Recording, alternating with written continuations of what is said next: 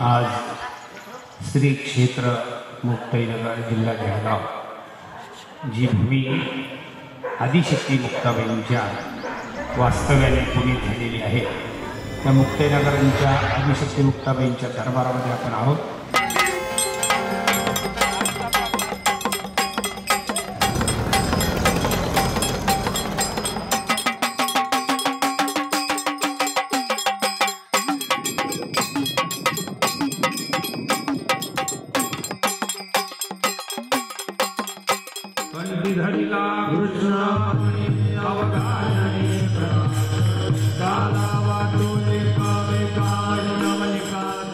Migration is an essential component of human civilization. For millennia, humans have migrated from place to place, sowing the seeds of culture in new lands. The wari that is being undertaken in Maharashtra for centuries now is a symbol of a spiritual migration of sorts. जेव्हा या चारही भावंडांच्या म्हणजे निवृत्तीनाथ ज्ञानदेव सोपान आणि मुक्ताबाई आपल्या सगळ्यांना माहिती आहे की संन्यासाची मुलं म्हणून यांना सगळ्यांना हिनवण्यात आलेलं होतं. जेव्हा या सगळ्या मुलांना धर्मबहिष्कृत करण्यात आला तेव्हा यांनी आधार घेतला आणि एक चळवळ उभी केली वारकरी संप्रदायाची चळवळ. तर वारकरी संप्रदायाची चळवळ ही पूर्वीपासूनच विषमतेच्या विरोधात काम करत राहिलेली आहे. In the heartland of Maharashtra lies a place that is imbued with the mystical philosophy of the Varkaris, the confluence of the Tapi Purna rivers in the Jalgaon district.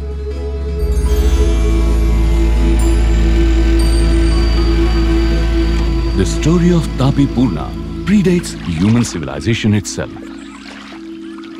These two rivers join here, having torn through the rocky terrain of the Khandesh region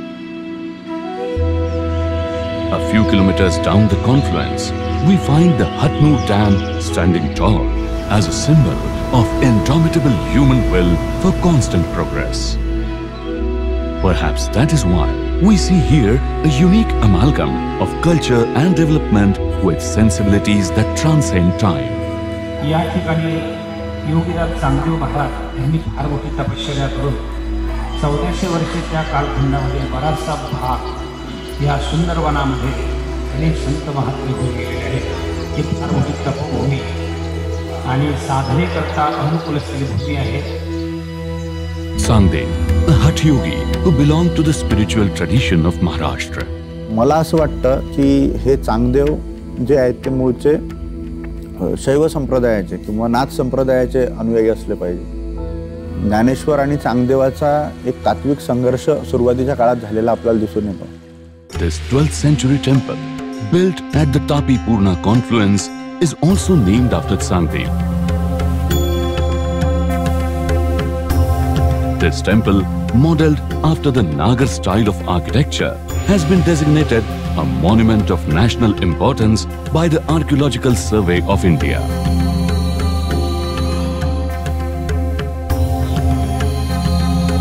It is believed that it was here that Sandev performed rigorous tapasya for 1400 years. However, this accomplished yogi, who is said to have fought death itself, eventually sought the tutelage of a little girl, the sister of the 13th century Varkari saint Jnanadev, Muktai.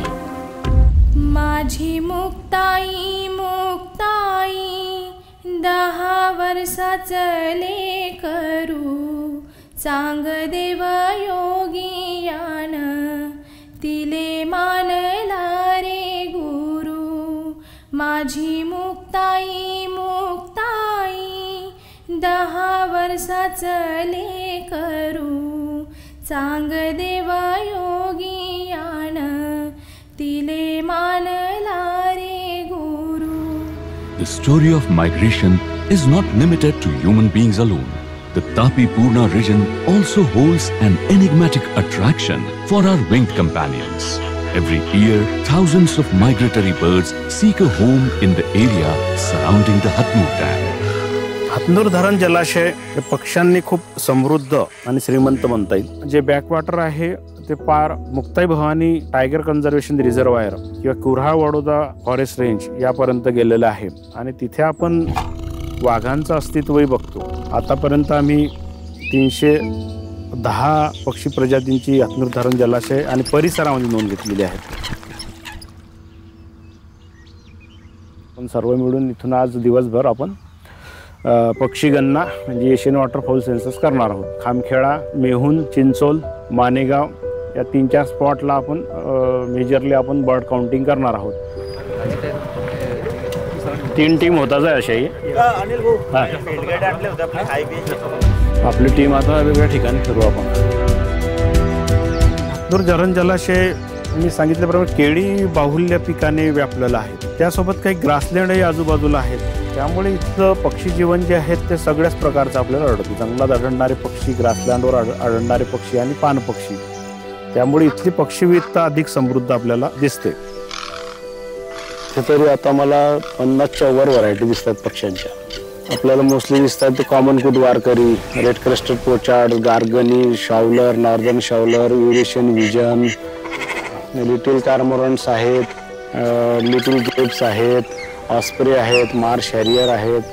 या असे जवळपास आत्ताच्या घडीला इथे पन्नासच्या वर प्र- पक्षी प्रजाती आपल्याला दिसतात. कारण किंगफिशर आहेत वॅक्टल्स आहेत. नुकताच आम्हाला दोन वर्षापूर्वी रेड फॅलोर हा पक्षी अत्यंत दुर्मिळ समजला जाणारा पक्षी आम्हाला आढळून आला. आता आपण रिव्हर टर्न आपल्याला इकडे बारा महिने दिसतात. म्हणजे टर्न्समध्ये पण रिव्हर टर्न हा पण ग्लोबली थेटन बर्ड आहे.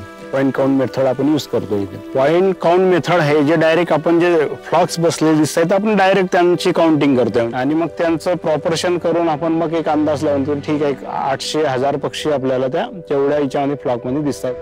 Dam is around 100 ki- square kilometer area. आणि हा सगळा परिसर जो आहे मेळघाट ते यावल अभयारण्य कॉरिडॉर कनेक्टेड आहे. दुर्दैवाने त्यामध्ये फ्रॅगमेंटेशन झाल्यामुळे तो तुटलेला आहे. म्हणजे कॉरिडॉर रिस्टोरेशनसाठी आम्ही काही एनजीओ प्रयत्न करत आहोत वन विभागासोबत. This dam is that uh, migratory birds uh, use this site as a, s- their stopover site. या पक्ष्यांना खाद्य उपलब्ध आहे इथे. आता ते हिवाळ्यामध्ये स्थलांतरित करून येतात. त्यांचं जे ब्रीडिंग ग्राउंड आहे हिवाळ्यामध्ये तिथे फ्रीज झालेलं आहे बर्फ तयार झालेले आहेत.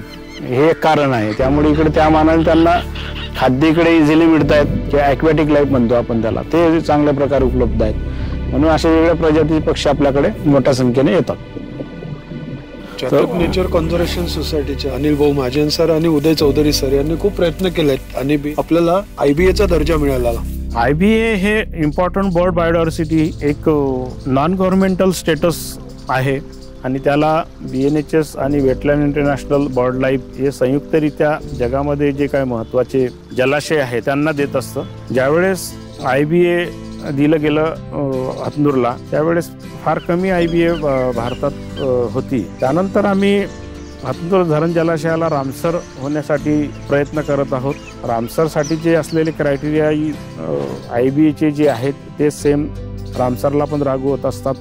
त्यामुळे आमसरच्या क्रायटेरियामध्ये हतनूर धरण बसते. पण ते सध्या वेटलँडमध्ये समावेश नसल्यामुळे हतनूर धरण जलाशय त्याला रामसर घोषित होण्यासाठी थोड्या तांत्रिक अडचणी आहेत.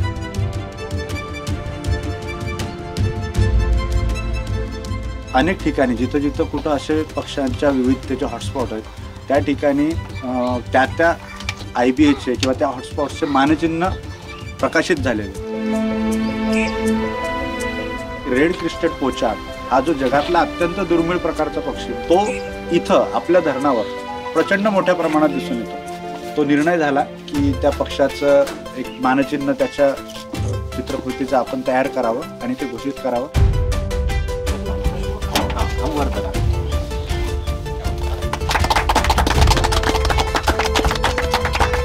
येतं डॅम येतं. पाणी येतं. इकोसिस्टम तर हा एक दुर्मिळ योग या ठिकाणी साधला जातोय की सांस्कृतिक केंद्र आणि जैवविविधता आणि पर्यावरणीय दृष्टीनं महत्त्वाचं अभ्यास केंद्र असं हे हातनूर धरणाचं क्षेत्र आता बनू पाहत आहे. त्यासाठी प्रशासनानं सुद्धा नियोजन केलेलं आहे आणि वेगवेगळ्या प्रकारच्या योजनांमधनं पर्यटनाला आढावा देण्यासाठी तसंच या ठिकाणी पक्षी निरीक्षणासाठी येणाऱ्यांना ज्या सुविधा लागतात त्या देण्याचं सुद्धा नियोजन या ठिकाणी केलं जात आहे. ज्याप्रमाणे पंढरपूरच्या वारीला जाणाऱ्या सगळ्या लोकांना मदत केली जाते.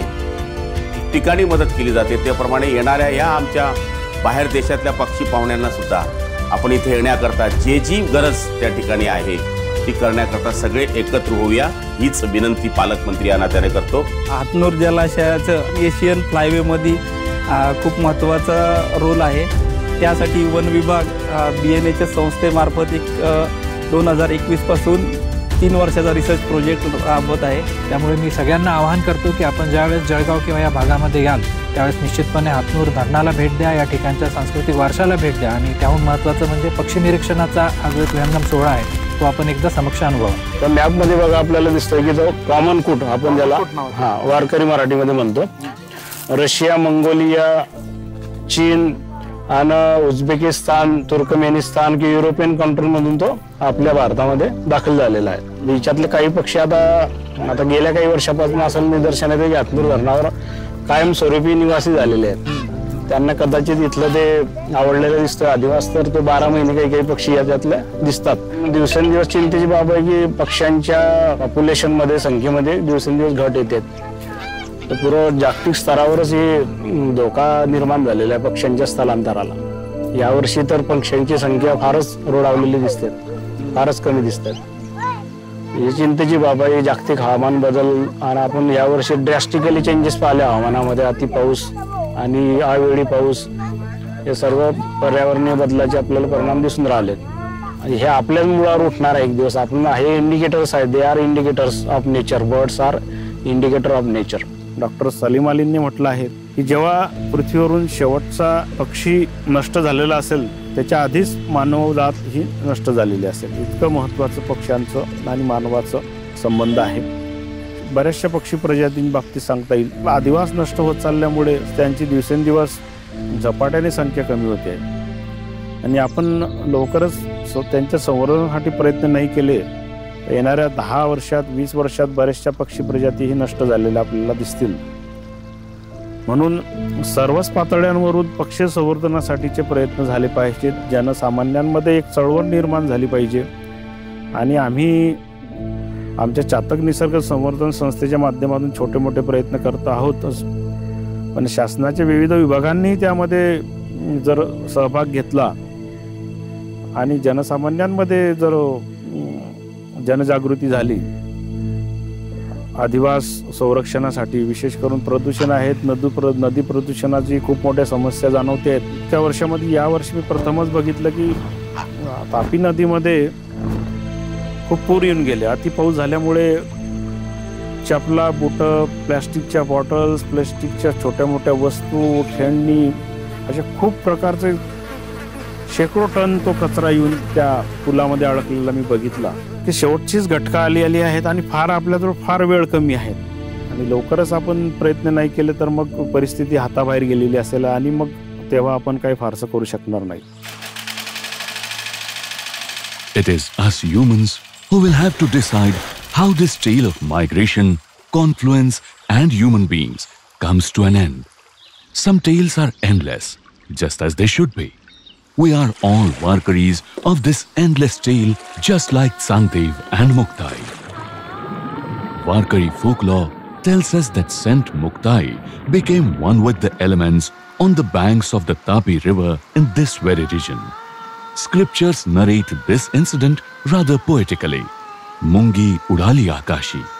The spiritual quality of Hatnur Dam Reservoir and the Tapi Purna confluence has a magnetic pull for birds, for humans, and for the many stories that their interconnected futures hold.